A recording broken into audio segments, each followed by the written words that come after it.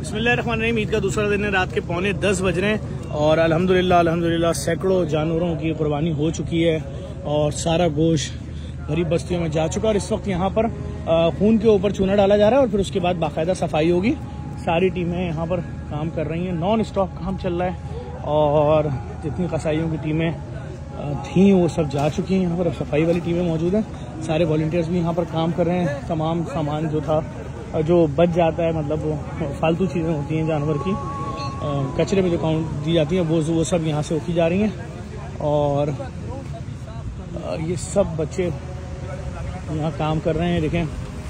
सजाद ने बहुत काम किया बल्कि सजाद ने और अष्टर ने इस प्रोजेक्ट को लीड किया। कैसे हो सजाद राजू भाई रोमी भाई। राजू भाई रोमी भाई ये सब लोग। कैसे हो? हाँ, कुमैल कुमैल कैसे हो? अष्टर कैसे हो? कासिम भाई वो बैठे हुए। हाँ। सब माशाल्लाह माशाल्लाह भाई, सबकी मेहनत है और मैं फिर यही बात बोलूँगा कि ये कोई आम काम नहीं है, यकीन जाने, इतनी गर्मी थी, इतनी गर्मी थी, इतनी गर्मी थी आज मैं आपको बता नहीं सकता हूँ किस तरह से और इतने जानवरों का ज़िबा होना ऊँटों का नहर होना, बहुत बहुत मुश्किल काम था, लेकिन माशाल्लाह माशाल्लाह, सारी टीमों ने कमाल काम किया है, बहुत कमाल काम किया है और पीछे ग्राउंड तक, जिधर तक भी आप जाएँगे, सिर्फ़ ये सफ़ाई का अमल चल रहा है। और इस वीडियो को लाजमी लाजमी शेयर